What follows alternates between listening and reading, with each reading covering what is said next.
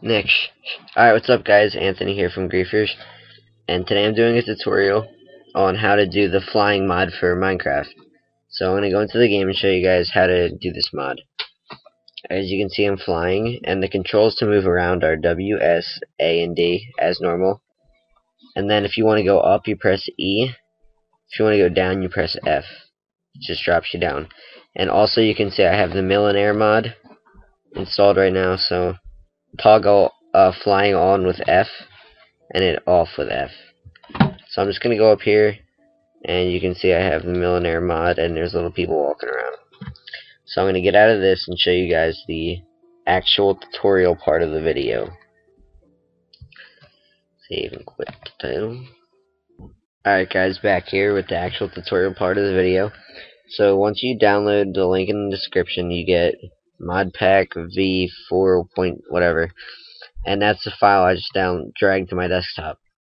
So what you're gonna do is open this up and you see I have a classes folder. Config folder a source folder and readme uh, .html you don't need the readme HTML on the source for this tutorial. All you need is the classes and config. Go into the start percent app data percent roaming dot Minecraft bin. Right click on Minecraft executable jar file and click open with WinRAR archiver. So once you have that you have all this. If you haven't already deleted the META-INF folder you have to do that. But I'm pretty sure all of you have done that. And you can see right here we have all these class files.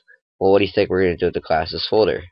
Just open this up and highlight all the class uh, dot class files drag them in here. Click OK. And you've just done half the tutorial. Now with the mod pack folder get the config. And then well you open the config folder and it has all these .text files. Go into start percent app data percent again roaming .minecraft and then go into the mods folder. If you don't have a mods folder, create one. And then you have to create a new folder called zombe. And it has to be spelled Z-O-M-B-E. So once I have that folder, I'm going to open it up. And you can see that I already have this done. But uh, you just drag these text files into here. I'm just going to click move and replace do this.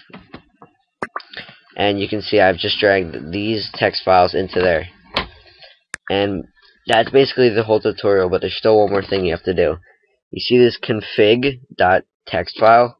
Open it up, and then go to the bottom where it says flymod-aka.flying.